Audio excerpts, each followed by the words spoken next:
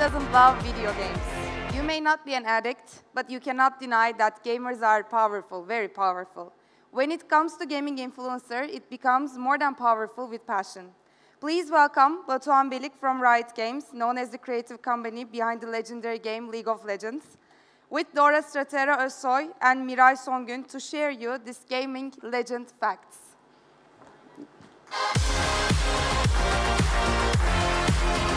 From the community discipline. We call discipline, you call team. I'm, the, I'm one of the guys from the community team at Riot Games, and what we do at Riot Games is we have one game called League of Legends. We are running the publishing of League of Legends in Turkey right now, and uh, I am also the SME, the subject matter expert for influencers in gaming. Miray and Dora Hello. with me. So let's sit and start.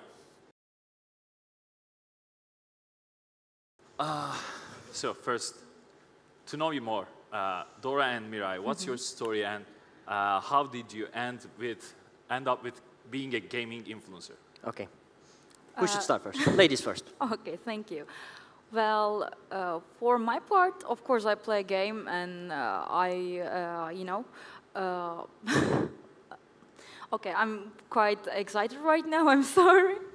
Uh, well, but for my part, I mostly cosplay, and it's something slightly different than gaming. Yeah, what's what's a cosplay? Uh, what is a cosplay? This is a great question because a lot of people uh, mistakes this with being an an- animator. Animator. Yeah. Uh, well, we do uh, costumes of a character, of a game, of a movie, of a book, and we literally act like the character. We live like the character for a single day. And So how, how did you start being a character of a game? Okay, well, for my part, uh, my family was uh, always influenced me about uh, being an artsy child. Like I always liked uh, playing with fabrics and uh, Fabrics. paints, and without I was knowing what I was really doing, I was cosplaying. It took a while, but yeah, I was doing my best and I was working with a lot of great people in this company, in this uh, f- uh, bazaar. Yeah. And you, Dora, how did you start? Uh, I started by uh, a YouTube channel YouTube uh, called League of Legends Mechanics, uh, just like your company. Yeah. uh, the game was and still is very popular in Turkey. Uh, I saw that many people do not know what League of Legends is, but it's booming in the youth. Just know that. Uh, but turns out people are interested in League of Legends, but they are not interested in mathematics. I was doing mathematical videos like how can you deal more damage, how does this system work, etc. But they didn't like it. so uh, I turned out and started making videos about the characters in the game, like what's their story, how are they designed, what's special about them. And since people connect with characters, they play in the game, just like you know you cosplay the characters because you love, th- you love them, and people want to know more, and uh, it grew. It grew up. Nice.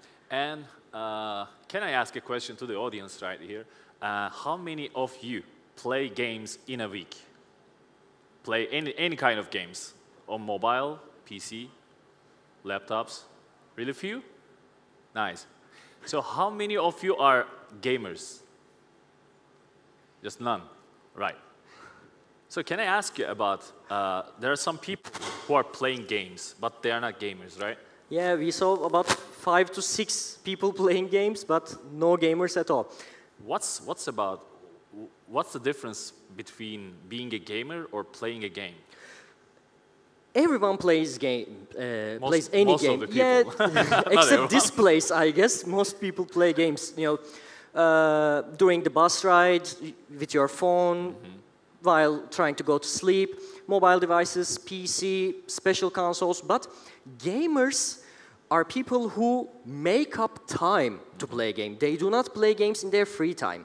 They They- uh, make it special part in their day, game, uh, in their day to play a game. I'm sorry. They prefer to spend the time. Yes, exactly. It's not just spending time for them. It's spending quality time, and uh, they make a special portion for that. So, uh, what's the difference between being a gaming influencer over the other influencers like fashion, like uh, sports, and like that? I see. Uh, influencers are uh, very general. You know, like you can uh, talk about food, you can go to places, travel blogs, uh, fashion, etc. They are mostly combined. But, but in gaming, people are focused. Gamers do not want anything else. They do not care about food experiences. They do not care about travel experiences. So when I try to uh, make, let's say I'm a fashion blogger and I make a video about food. People would still be interested, but in gaming, when you try to do such things, they do not care they only want content about gaming, and mm-hmm. that's why gaming influencers are uh, generally more focused. Yeah, and separate from the other influencers. Nice. Uh, actually, it's just because of the audience that uh, desires to see gaming, right? Yes. Okay, cool.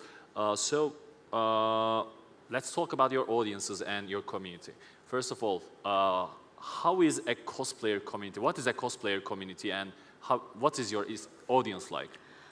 Well, before the audience, it's more like a community who, which is more focused on uh, costume making and collaborating with each other. Mm -hmm. It's like a, you know, a chain. It's always uh, together. I mean, some people are making props, armor, some people are sewing stuff, and mm -hmm. when they are getting uh, together, they are putting these two pieces to, uh, together too, mm -hmm. and they make great projects. And you mentioned about making armors. Yeah. What's what's it like to make an armor, like blacksmith or something? no. Well, you know that uh, there are games and movies that we always watch and think like, mm-hmm. oh, wish I was in, uh, wish I was in this crew, wish I was a part of this universe. It's something like that. I mean, you are using different materials like EVA foam, mm -hmm. like plastics, la mm-hmm. like. Uh, it's not real armor, right? Yeah, of course it's not. I mean, it's less it, durable. It looks real. it looks yeah. real, yeah. Mm -hmm. And your audience, what's your audience like? Uh, mostly males uh, aged between 18 and 24. Since I am a YouTuber, uh, I am going very statistically here, yeah. but uh, and by mostly I mean 95% males. males. I'm more like you. That's a uh, I don't know why is it like that, but of course most gamers are male. Uh, there are a large large portion of female players, but they are not in my channel, I guess. Mm. Actually, I stole them? it's the industry standard, nearly industry standard. It's like 94% of the gamers are male and 6% of them are female. So I'm missing only 1%, 1% of the females. Yeah. That's okay. But it's different for Miray, I guess. Yeah, well, since I'm a cosplayer, I always uh, care about the both sides. Like mm -hmm. I make up, but I also play games. Mm -hmm. So it attracts both uh, genders. Mm -hmm. So like 65% males, uh, 35% females in my. A lot of females yeah. in cosplays. Yeah, because it's it's passion. Yeah, it attracts both of the genders, like I said. E exactly. Mm -hmm. So, how do you monetize your content? Because everyone in this crowd maybe is wondering, they are just playing games and gaining money. What's it like that? Is it is it a, just a dream for a guy like you, or uh, first of all, that statement is uh, very popular and it's very wrong. You know, they just play games all day and they make money. Uh, there are many different channels on making many money when you are a uh, gaming influencer.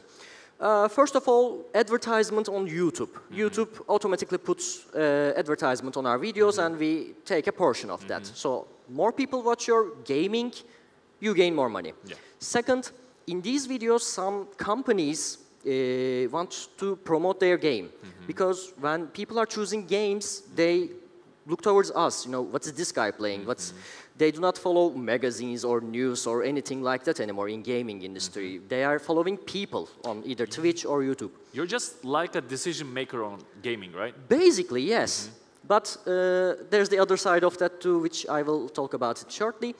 Uh, the other part is people donate. Uh, usually via live streams when you are playing a game good or you're explaining it well or you are making people have a good time they support you because they want you to keep playing and keep sharing content uh, with them. So there's donations, there are subscriptions. You know, they pay you on a monthly basis.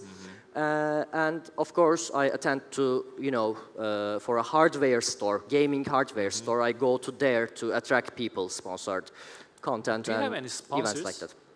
that. Uh, they are usually not in long term. So Mm-hmm. let's say in this month I work with uh, a game developer, Mm-hmm. a hardware company, and attend to an event. Sometimes it's four, five uh, projects every month, but it always changes since it's a moving industry. Are, are these like one-shot projects that Mostly. they include you in? Not Yeah. always, but uh, sometimes games with big investments uh, came to us like for a six months projects. You know, Mm-hmm. make a video about this game every week so people think that uh, you It's are organic. always playing the game. Yeah, things like that. Yeah. Because when you do a one shot, people think. People usually think, you know, this is an advertisement. I don't care. I'm not going to watch this. But if you do it every week, people think you actually actively play the Play game. game. So being an organic influencer is really important in gaming. Yeah, exactly. And you, Miray, what's your uh, monetization models? How do you monetize your content? Uh, for us cosplayers, it's mostly one-shot projects because uh, what we are working with as companies is mostly the electronic uh, companies like Teknosa and MediaMarkt and Vestel and a lot of different firms too, but mostly these are. And I mean, they are uh, producing their computers, gaming sets, and that kind of uh, you know goods, and they come to us saying that, okay, we have a booth. Come on, let's work with us for a couple of days, a couple of weeks, and you will be taking photos with us with our costumes or. Uh, companies are coming to us and saying we have a game like this and we have these characters and i mean riot games is one of uh, them uh, So you are being a part of the project Yeah. or an event as a character, right? as a model yes You're like acting like a model, but in a, uh. In a costume character. which is a character of the game or the i also act like the character because uh, it's a part of my job Yeah, w- that, that was my next question. Are Uh-huh. You also, are you only just sewing or building the armor or you are working on the character itself or himself? uh, i remember Yourself. working for uh, weeks to learn how to hold a bow and arrow for a project and wielding uh, swords and uh, changing my voice tone everything You're is, uh, acting yeah I'm, I'm. I'm acting whole day i mean when people are coming to my stand i have to act like the character i have to present the spirit to them So, uh, can you tell us more about the projects that you previously involved in? Do you have anything in mind that strike you like this is the event that I really had fun of? oh it's cosplay lab i guess Cosplay Lab. Uh-huh. It was a part of the, you know, uh, the Riot Games had a project like this. They gathered 16 different uh, countries and maybe 25 cosplayers around the globe. They fused us together, and there was a lot of different workshops on different topics. I, I, I remember it was, it was enchanting. Where, where did it take place? Uh, in California, LA. California. Uh-huh. So you fly from here to California Yeah, for the project. for the project. Yeah, it took four days, and it was the most amazing event of my life. what was expected you to attend? Uh, I just attended workshops and Workshops. Mm-hmm. talked with people. We talk about how we did this thing in our countries, Mm-hmm. uh, how we were collaborating together, and in time it was it was more like a pajama party. We were Mm-hmm. having so much fun. So what's your favorite character? Ah. Like one of your previous cosplays? Ari. Ahri. Yeah. Ahri and from Trace- League of Legends. Yeah, Ahri Yeah. from League of Legends Proud. and Tracer from Overwatch. Tracer. Yeah. Tracer from Overwatch. Mm-hmm. Cool. And uh, Dora, what's your favorite character? Ooh, that's a tough question. Uh, I guess I would go with League of Legends too. Uh, but you know, there are 150 champions, so it's Yeah. hard to choose one. But I could say Vladimir or Bard, maybe. Vladimir or Bart? Yeah, very different ends right there. Yeah. and uh, I would ask, uh, what, what, what's like the, who are the brands that uh, make, mm, involved in these projects with you? What are the big brands that people want to hear? Yeah. Uh, actually, I can't even name them all. There are too many. Uh, especially in the world and uh, recently in Turkey, everyone is going through the influencer marketing. Uh, and the gaming has boomed like three years ago. So I have worked with uh, retailers like Vatan or uh, Teknosa, Vestel, uh, many different games like Arena of Valor, O Game, all around the globe. Uh, hardware like SteelSeries, uh, Corsair. So you can say that everyone is jumping on the, the I don't know, wave right now. Yeah. Yeah, vegan, thank you. Wagon. What's the brand's uh, like uh, needs from a gaming influencer? What does a brand want from an influencer like you? I see. Uh, as I said before, gamers are very focused and they only care about gaming. So uh, they do not play with standard keyboards or mouses or uh, basic hardware equipment. They buy uh, keyboards like with millions of colors, like flashing and special buttons on them to make uh, them better at the game. Actually, you know, Faster shortcuts reactions. faster reactions, exactly, better responsive mi- gaming mouses, etc.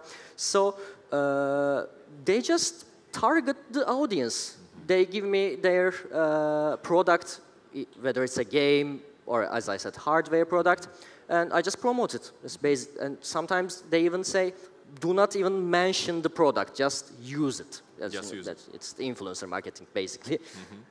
Uh, actually, uh, some of the PCs today, some good PCs may be costing a few hundred dollars, Maybe even maybe. more. But yeah.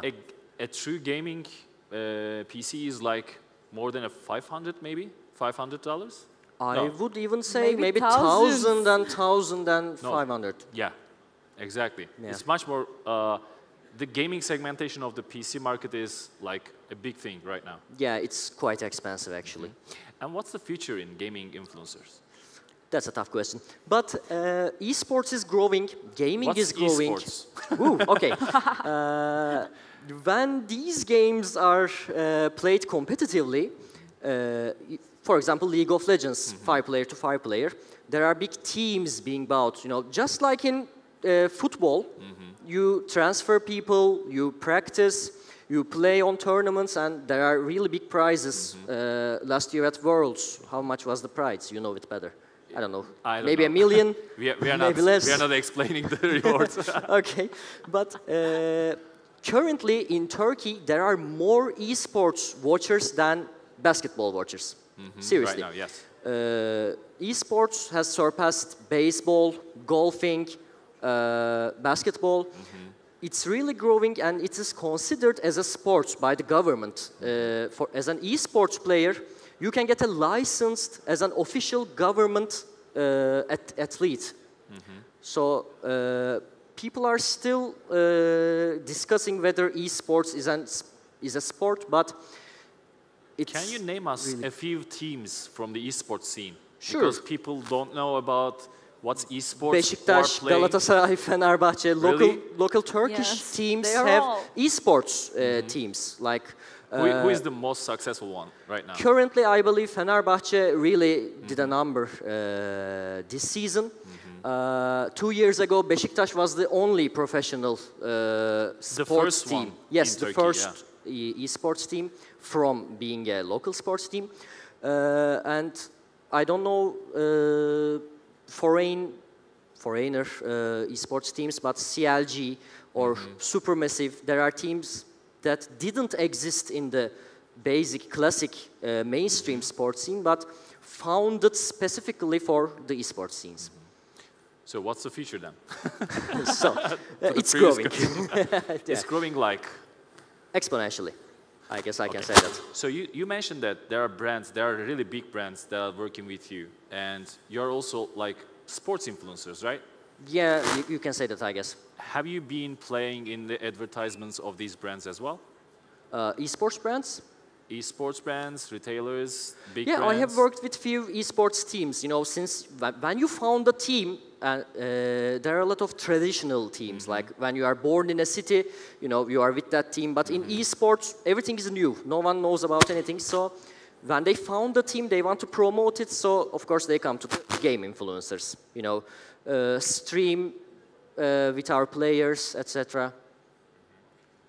Uh, Dora, one more question for you. Sure. Um, your audience, your community, you have a community. Of course. Uh, and how many subscribers did you have on your Uh, YouTube? 350,000. 350,000 subscribers on YouTube. And do they, uh, do they tell you what they need or how do you just uh, communicate with them?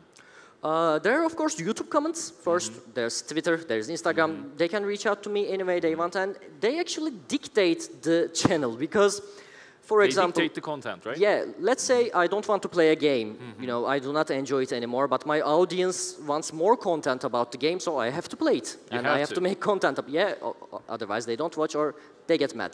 So does it make you uh, feel like less entertained?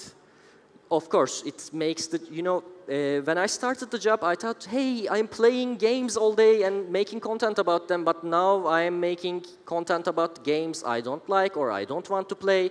It's basically work. Work. Yeah. It's basically work for you. And for you as well? Are you, Yeah. how do you communicate with your audience? I'm generally starting pools on Facebook, on Instagram, and sometimes at YouTube. And it's like, okay, uh, well, I can make these characters, as you can see. Pick one. Pick one. And they just go and vote whichever they l- feel like. And for the companies, since I've uh, worked with uh, one-shot uh, jobs, I didn't sell a single costume, which I really want for three years right now. yeah, it's just work. I know that it's something I started loving at first. Right now, I, I still love my job, but it has its own hard points. It's slightly rushed. So I'm out of questions right here, but I would like to thank you. Thank both you. Of, thank you. Thank both of you. and just want to explain that we as Riot Games uh, have been working with both Dora and Miray more than like 10 or 20 times maybe. yeah. yeah. In every event, uh, in every content that, that we've published, we are always thinking that these guys are the ones that live the content. So uh, why not be a part of them? So we are always thinking that uh, working with gaming influ- influencers is the best way to uh, engage with the community. Thank you, guys. Thank you so much.